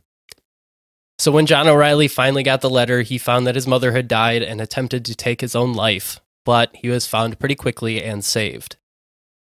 After this event, it was then that he decided he would escape or he would die trying. He befriended a man named Father Patrick McCabe, and he consorted with this preacher who helped him plan his getaway. O'Reilly was put in touch through McCabe with a local who aids in the plan by getting him horses and a boat to get away. And on February 18th, a little over a year after arriving, John Boyle O'Reilly flees Bunbury in the cover of night. He gets to the shoreline and waits there for a few days in anticipation of a whaling vessel that will take him to America. He makes multiple attempts to make it out to sea and signal to the whaler that would rescue him, but the ship doesn't see him and his aides, and then the ship leaves. Right. It's kind of hard to see. like, You're miles away. and like- you're also in Australia. Like, there's no lights, right? Like, if you're not in the village or excuse me, like the colony, and you're just on the just on the coastline, like you can't see anyone. But even even during the day, like you're Yeah. searching for a sm- relatively small whaleboat in the middle of the ocean, yeah, so it's going to be tough to find them. right, like whale boats, how big are we talking? Like what, twenty ish feet, something Yeah, like that. If yeah. like if that, like that'd be a They usually hold Bigger. 10 people, so it's Right. it's not huge. yeah. And but yeah, then he has to go sit on the shore without fresh water and Mhm. wait while these people that he's with, like the locals, are trying to get him stuff to help him survive pretty much. Mhm. So it, it it's a rough I think it's over a week that he's pretty much just like dying of thirst and hunger and stuff trying to get out of this place. He's looking at the koalas, being like, "Come here." when he's also am I going to get caught? right. So uh, the whole time he's got to stress about that. So, needless to say, hope is hard to come by. But in March, Father McCabe finds another ship passing through who offers to help O'Reilly. But this time, there's a catch because another convict caught wind of the plan and said that he would alert the prison officials to where O'Reilly was if he wasn't allowed to escape as well. And this guy, like, Mm. all accounts said that this guy was a terrible person. Like, he was convicted on multiple assaults. He was just kind of bad out of hell, didn't respect anybody. loose cannon. so yeah. everyone was, "Uh, we don't want to take him, but what else? What other choice do we You're kind of have? out of luck there. Yeah, so- to, yeah. So the plan was set. And a few days later, O'Reilly and Martin Bowman was the other convict's name, were on board the Gazelle on their way home to the United States. They had a few near misses with British officials along the way, and one of those near misses saw Martin Bowman get captured by the authorities when everyone pretty much sold him out and said, "Ah, he's right there." Yeah, we just douchebag, douchebag. we just got the one. Yeah. you can take him. And the third mate of the Gazelle pretty much helped O'Reilly hide and got him all the way to America safely, where he became a news reporter and eventual partial owner of a newspaper. Which what a come up. Yeah. He worked for it though. Oh yeah, I'm sure. But the story of how they hide him on the ship is amazing. They so after Bowman gets they sent him off, they're like Mhm. he's going to tell Yeah. that O'Reilly is here. So they luckily had the paperwork of a guy who had deserted. hmm And so they said O'Reilly was that guy. And then during the night, that the got third mate tells him, Hey, take this giant weight and throw it in the water with your hat while no one's looking. And then after you do that, run down into the deck of the ship and I'll hide you in this pretty much like locker Yeah. and I'll I'll bolt you in there. And so he throws it over. All of the crew are like, "What happened?" And so they see his hat yeah. and they say, "Oh, he just couldn't take it anymore and he committed suicide." oh. And then as the the British come back after Bowman tips him off, Mhm. they ask where he is and they're holding his hat. And they're all really sad because they like John O'Reilly. Right, right. And no one knows that he's not actually dead except the third mate. The third mate. And so he's they're all really upset, and the British are like, oh, he actually committed suicide. like, oh, so they leave, and then as like after a day out at sea, they unbolt him from the locker, and he comes up and he goes and talks to the captain. The captain's like crying.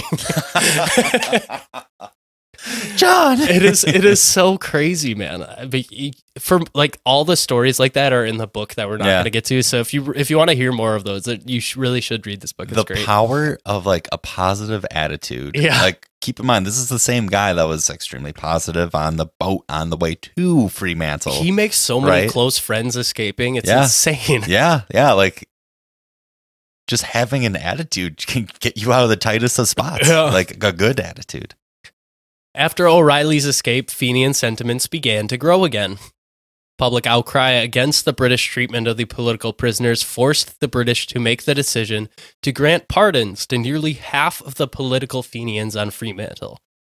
But the military Fenians, who were the ones that were prior to their incarceration serving in the British military, saw no change in their situation. And eventually the pardons were extended. All of the Fenians except for the military Fenians, were allowed pardons with the caveat that they were never allowed to set foot in Ireland or Britain again, or at least until their sentences were officially completed. Which is kind of a huge step, like getting a pardon for being a political like activist. Yeah. or I guess revolutionary in this case. That does not happen. So like sentiment had to be strong. It's also funny that they're sending them to the U.S., where there's Right. all an active, growing Fenian community. Like, So- Almost as big of a pot like Irish population as Ireland Yeah. is in the United States at this time. and that same population was previously saying, "Hey, we should organize here," and then go invade it. Yeah, the entire population is like, screw the British. yeah. But this meant that John Devoy, who was one of the Brit- biggest names in the Fenian cause, was allowed a pardon, and he went to the United States. And when he got to the United States, he was received in New York by thousands, and shortly after joined a new group of Irish revolutionaries named Clan na Gael, which Gael is for Gaelic, which is the native tongue of the Irish people.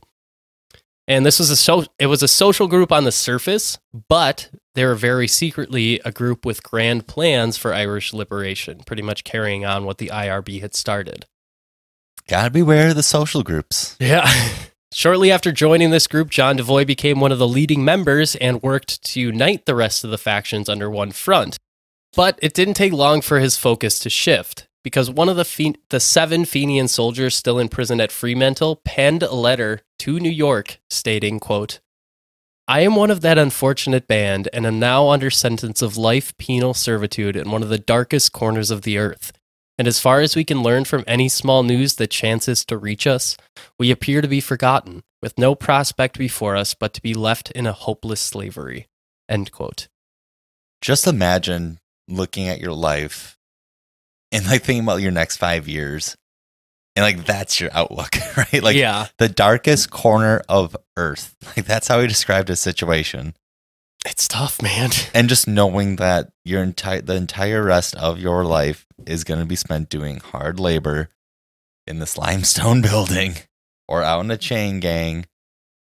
You're lucky if you just say like, actually, I'm Protestant, but like that's Yeah. also against the Catholic, like the Catholic faith. Like that's worse than death in that case, But then from you're one of the guys that just got a free pardon right? and you're reading this letter. right? yeah, yeah. it's it's tough.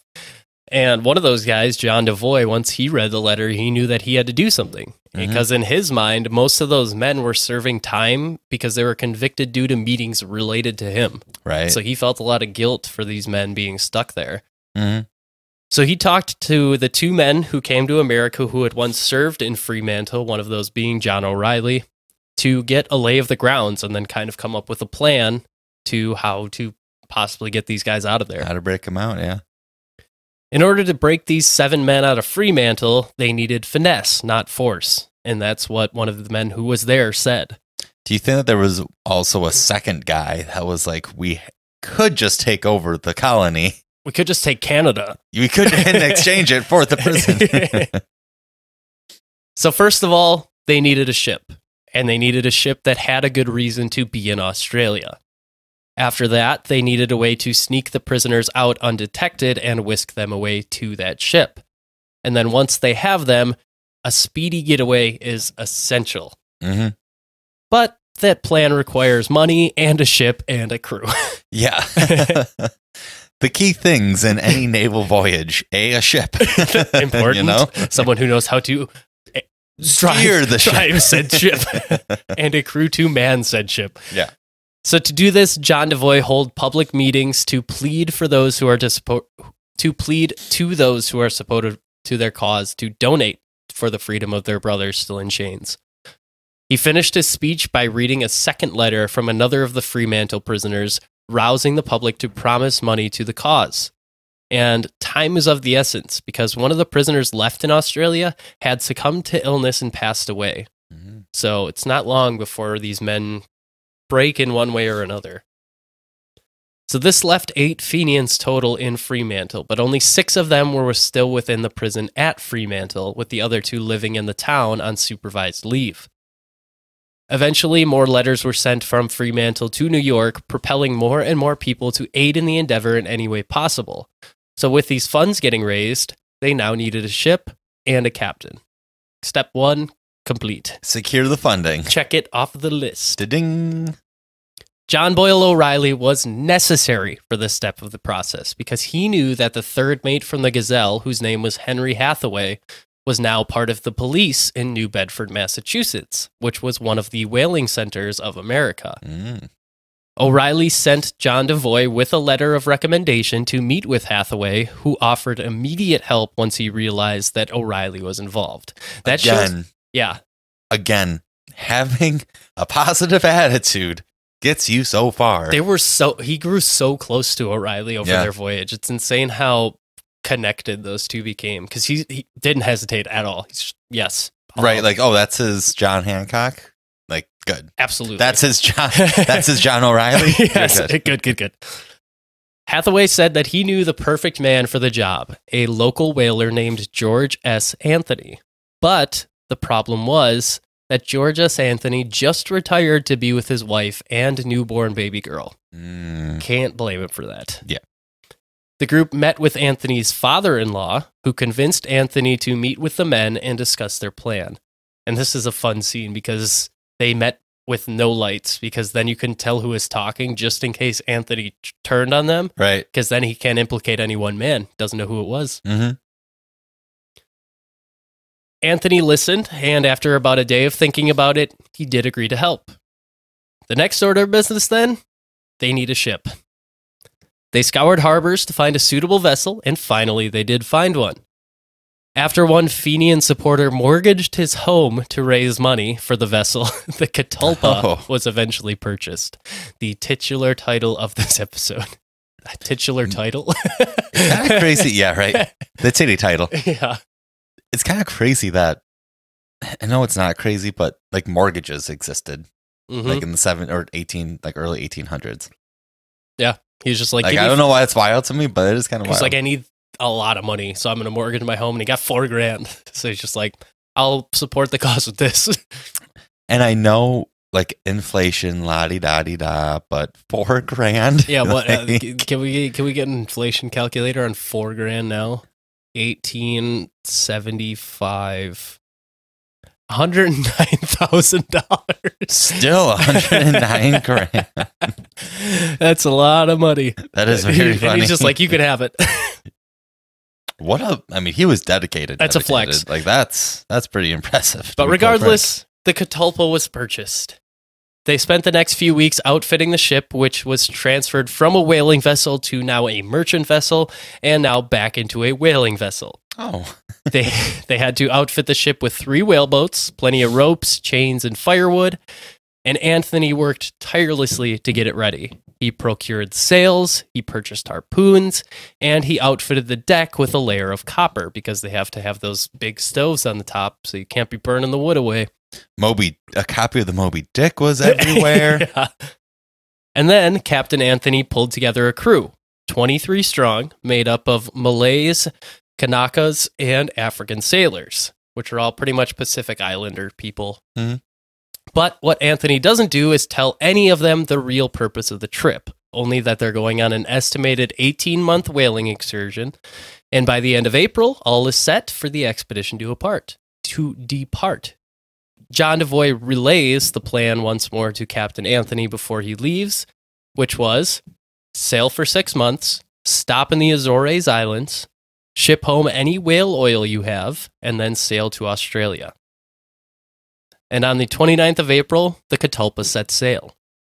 Devoy stayed behind, not wanting to rouse suspicion from the British if he disappeared for too long, so only a couple of the Fenians would be involved. John Breslin, the man who had broken Stephens out of prison nearly a decade before, and Thomas Desmond, the military commander of Clan na Gael in San Francisco. So these two would take a steamship to Australia from San Francisco and be the men on the ground who would find a way to break the prisoners out of Fremantle in person. On board the Catalpa was Denis Duggan. And thus, the men, along with Captain Anthony, began their voyage, whaling as they went to try and recoup some of the funds for the voyage. And whaling is no easy venture. no, not at all. As one contemporary put it, quote, You are compelled to breathe in the fetid smoke of the scrap fires until you feel as though filth had struck into your blood and suffused every vein in your body. From this smell and taste of blubber, raw, boiling, and burning, there is no relief or place of refuge. So to put in today's terms for everyone listening, uh, it stank. It was, yeah, a stinky business. Yeah. And the men would like, they would have a pair of clothes that they would wear throughout the process and they would throw them away because there's Oh. no saving them. There's no saving. I imagine there's no saving like whale blubber clothes. No, not at all. Breslin took on the alias of Mr. Collins, a wealthy mining magnate who is looking to invest in local timber or perhaps recruit prison labor for his businesses. And Thomas Desmond would act as a carriage maker from Vermont. By mid October, Captain Anthony had made it to the Azores Islands and sent 210 barrels of whale oil to be shipped home. However, a majority of his crew also left, Oh no. des- Yeah. deserting after getting paid. I mean, I guess to them they didn't really care if these people. Yeah, you know, they were like, well, well, they didn't know the plan. That's right. They didn't know the plan, but it's like, well, cashed in. See ya. Luckily, in the Azores Islands, it's kind of a stopping point for shipping vessels and stuff like that. He was able to find a crew pretty easily and smuggled them on board because they didn't have passports. And they pretty much just kept on going. Yeah, just keep it rolling. You know, keep sailing. But as they go, the crew does quickly realize that they're moving on the wrong course Oh no, because he tells them it's just a whaling expedition. You know, we're going to certain spots. Yeah. And then as they go, they're like, we're not at those certain spots, Captain. Just whaling with the boys. You Don't, know. don't question the captain. Yeah, So Captain Anthony blamed it on faulty navigational equipment, but he, he, just is like hitting his compass. it's like, it's like Well, north. It's showing north and south. well, he had like a chronometer or whatever they're called that was like faulty, and it, was, Ah. it was giving him bad readings. So he was going to the wrong places. Oh, like yeah. actually, legitimately. But then after he fixed it, he's like, I got to come up with an excuse. Uh oh.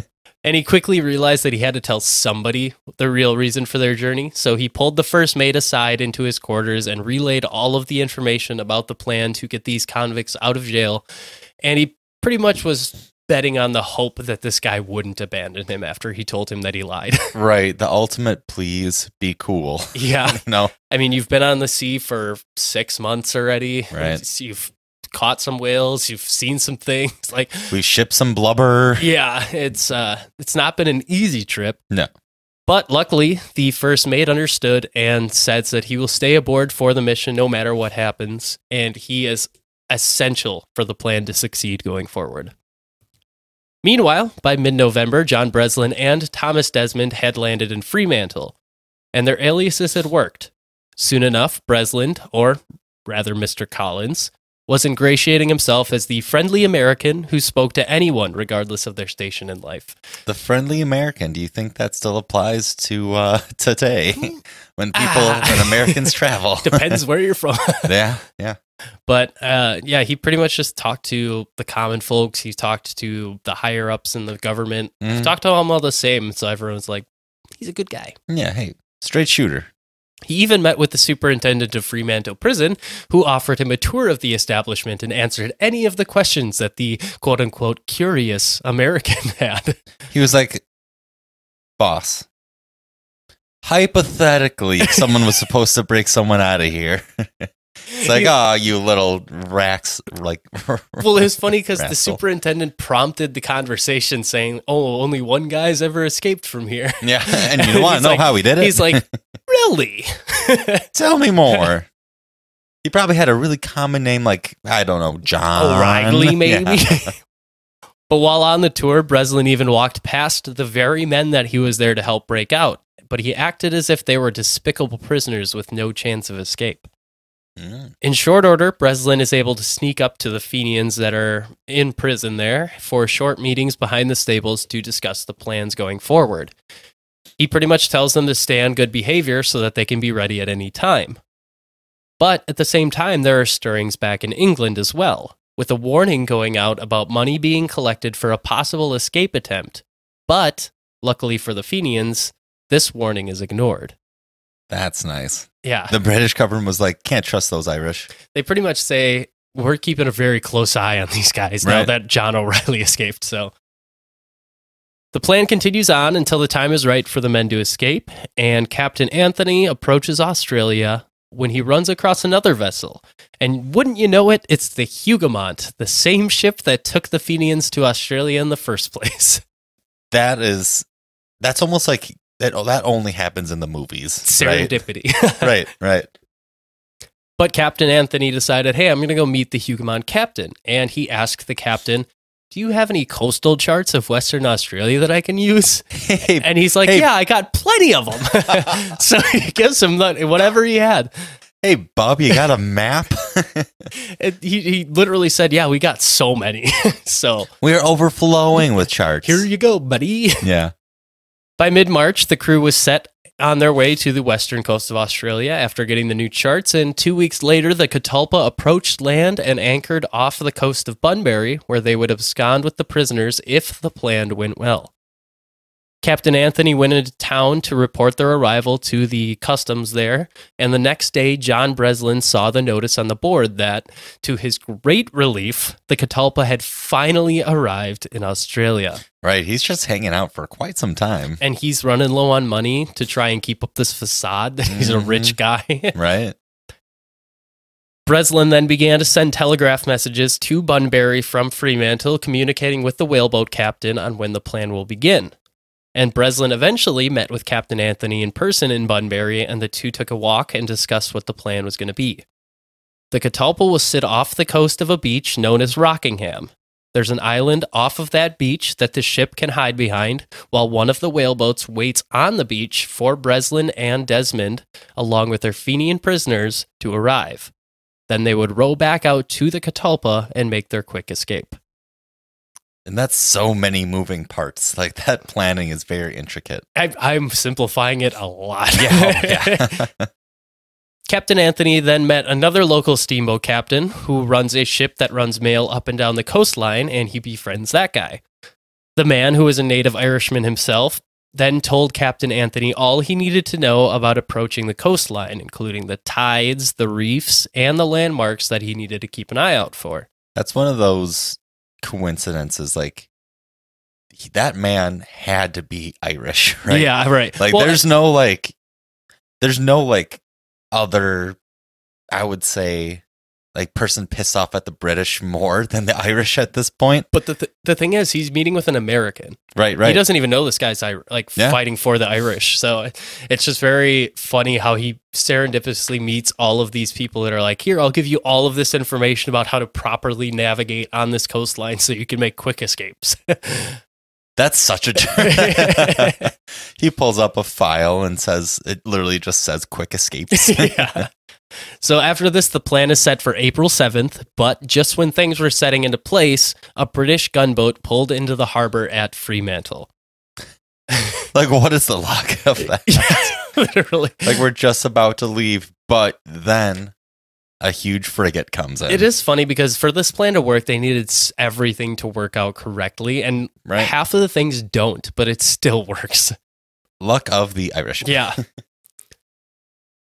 So this gunboat would only be there about a week, maybe to 10 days, but that pushed off their escape even longer.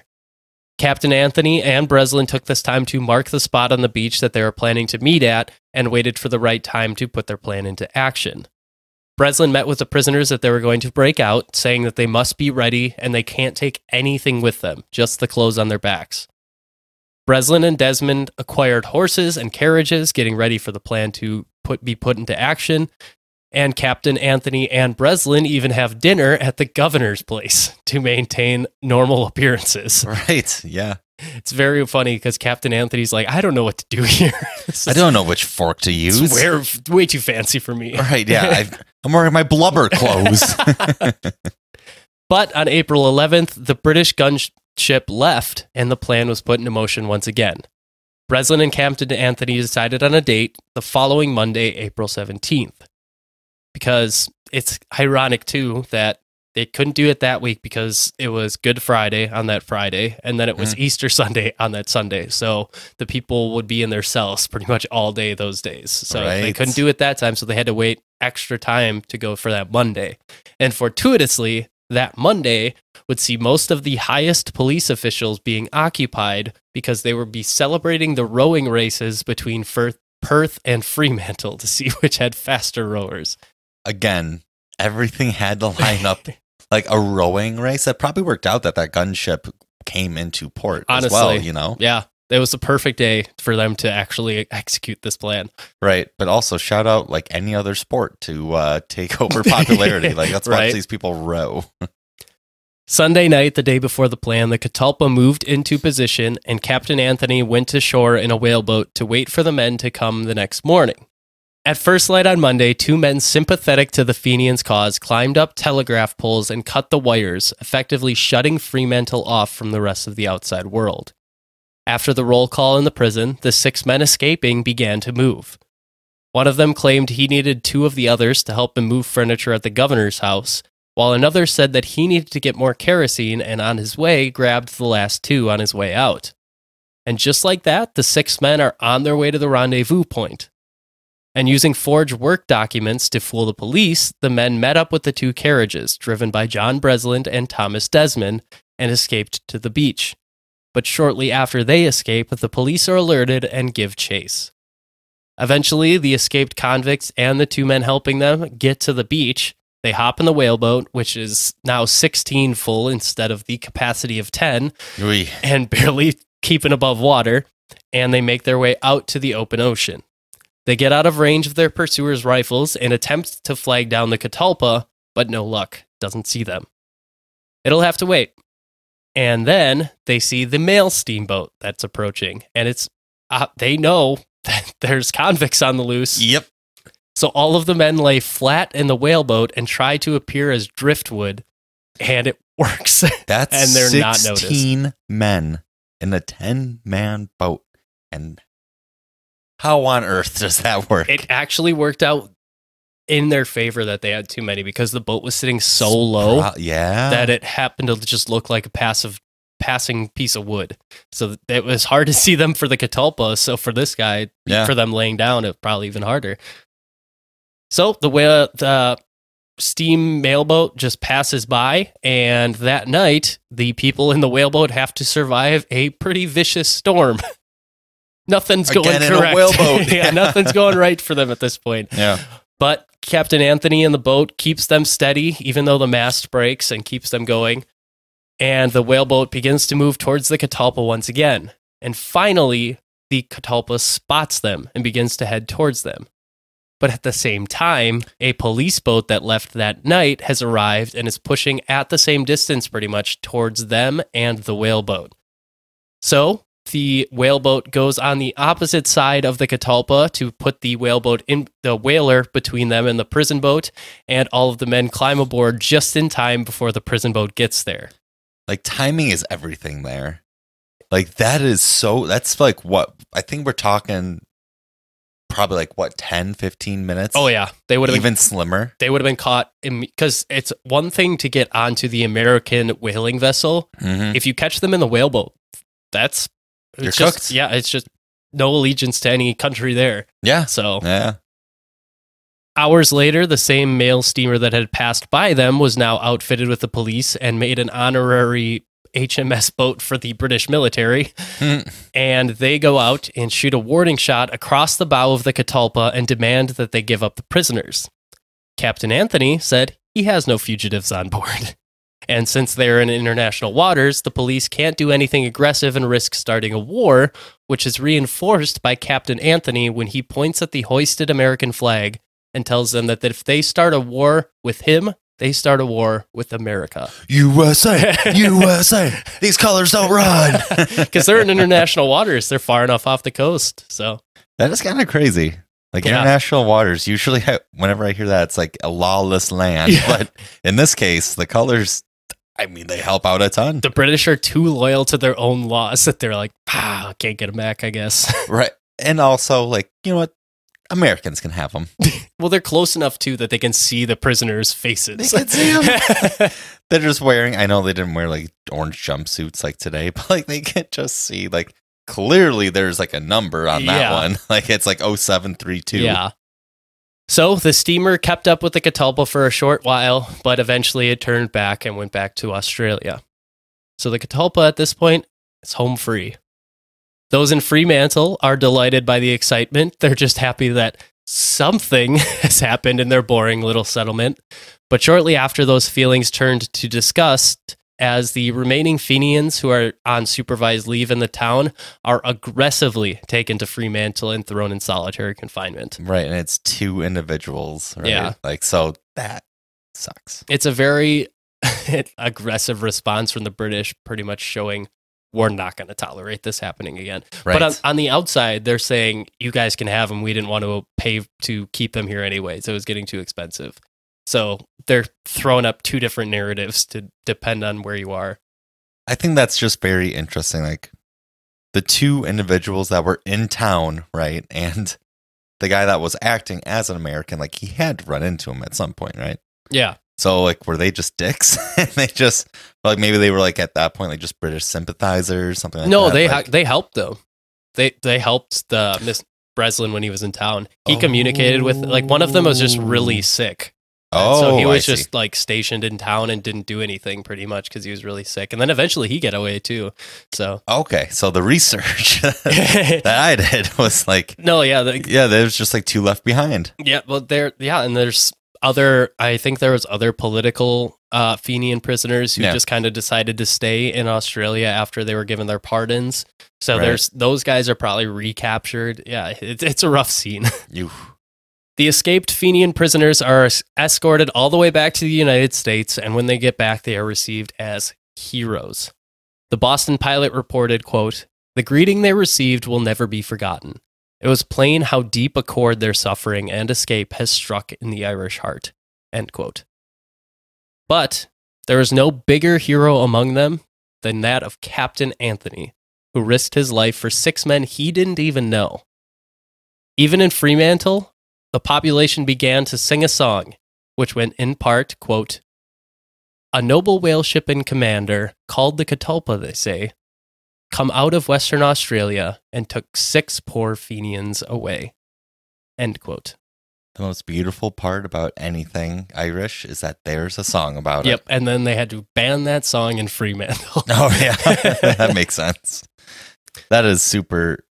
God, what a story! yeah, those guys got out of there. They were home free and they established themselves in America. And yeah. Can you imagine the celebration? it's, I, th- Like the Irish do it big. So it, well, it's funny too because there was different American factions of Irish like sympathizers. Like they had Mhm. the Clan Clan na Gael, and they had the remains of what the IRB was. They had another one that was so that all of them meet them on the shores and Yeah. say, "We want you guys to come to our side."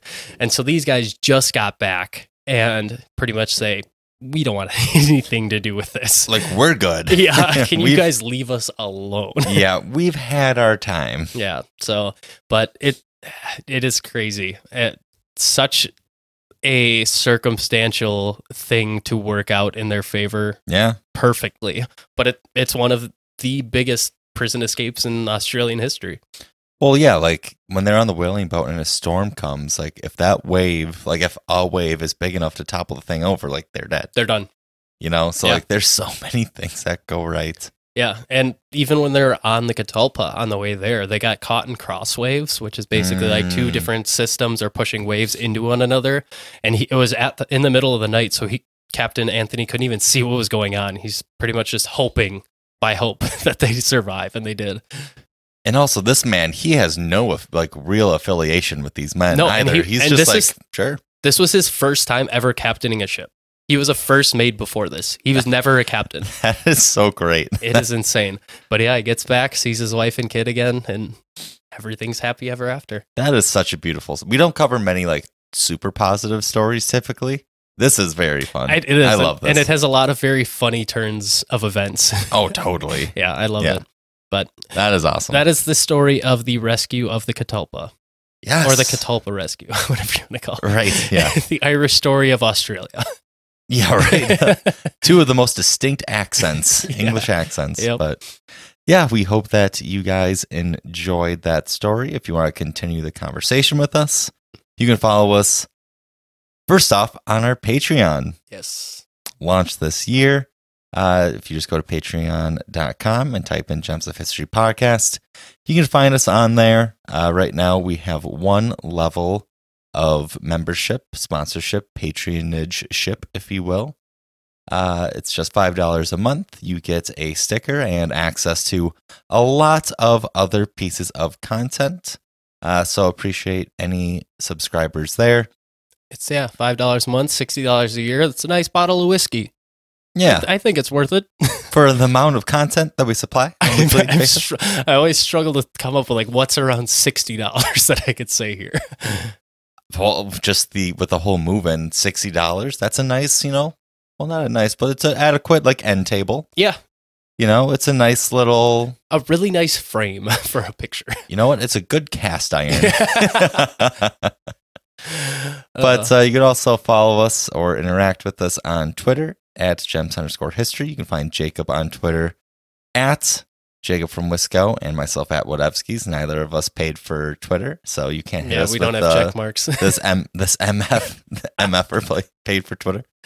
You can also find us on Twitter, YouTube, and TikTok and Facebook at Gems of History Podcasts. On Facebook in particular, that's our discussion group where you can interact with us in a very personal way uh, and just continue the conversation, I guess, and with other listeners. But yeah, that's where you can find us. Yes, absolutely. Uh, next week we got the the listener topic, which we mentioned at the beginning of the episode. So yeah, we we got that coming up. Which, if you want to vote once again, you can go join our Patreon and you can vote on the topics there every month. Uh, I think that's all we got. Yeah, that's all That you was- got. We got we had quite an episode. You this week. just you just said that's all we got. We literally just gave a two hour two hour episode. that was quite the episode. Uh, but thank you guys all for listening. We really do appreciate all you guys, and thank you guys who have donated to our Patreon. We do this because you guys support us the way you do. So Mhm. thank you guys very much. We hope you guys all have a great week this week. We love you and stay polished.